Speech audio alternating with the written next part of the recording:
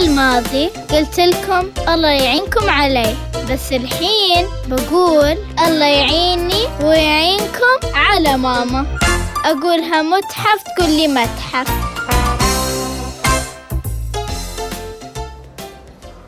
الملكة إليزابيث ألكسندر ماري وينزر.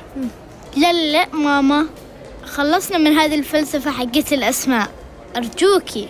sorry sorry يا سارة. يعني أنت عرفتها؟ طبعا أعرفها. مش هي ملكة البلد اللي إحنا بعاصمتها الحين؟ لندن؟ صح برافو عليكي ملكة بريطانيا و15 ولاية ملكية ثانية.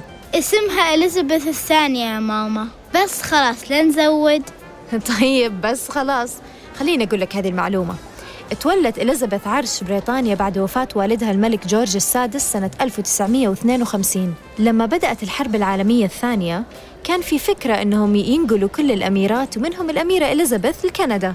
بس أمهم رفضت وقالت أنه لا يمكن أنها تسيب أولادها ولازم تبقى جنبهم وجنب الملك. والملك طبعا لن يترك الوطن. والله أم عظيمة عن جد. وكمان أثناء الحرب انضمت للخدمة العسكرية النسائية.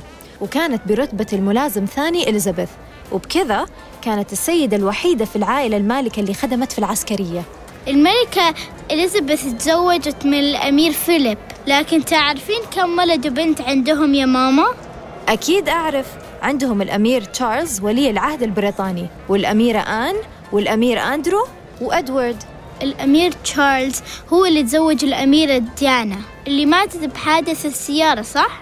والله برافو عليك يا سارة أنت ما يفوتك شيء ها أدري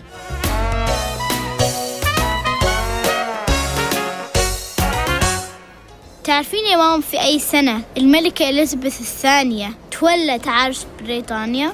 سنة 1952 لما توفى أبوها الملك جورج السادس بس اللي ما تعرفينه وأنا أعرفه إن الملكة إليزابيث تشجع أي فريق يا ترى؟